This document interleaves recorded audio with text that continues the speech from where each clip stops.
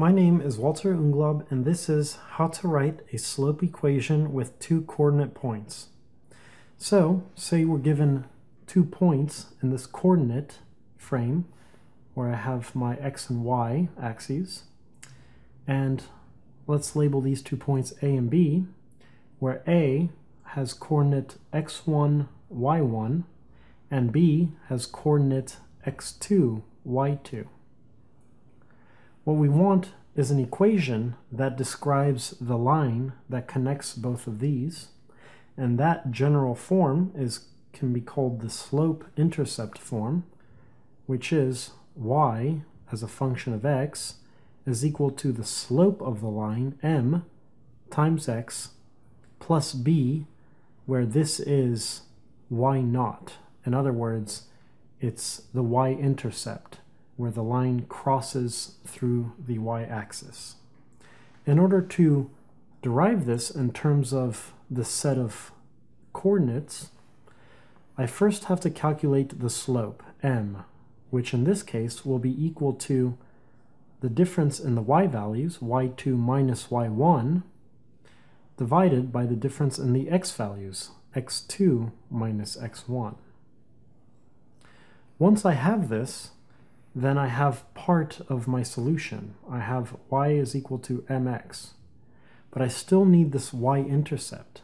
To do that, I can consider this point here and notice that my value for this coordinate, which is x naught comma y naught, is 0 here for the x.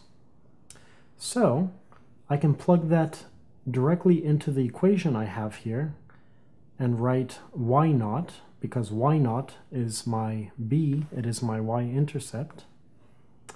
And so for the slope, I'll have y1 minus y0 divided by x1 minus x0.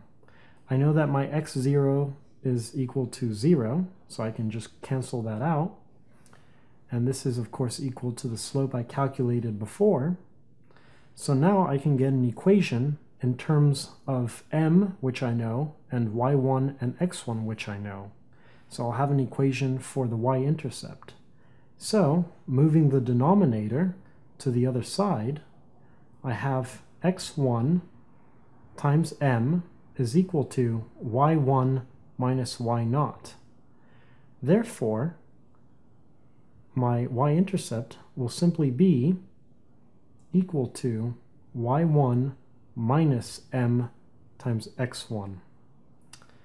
So now I have my final equation, which is y is equal to mx plus y naught, or sometimes it's referred to in the literature as b, and my y-intercept is given in terms of the slope and a set of points that I chose.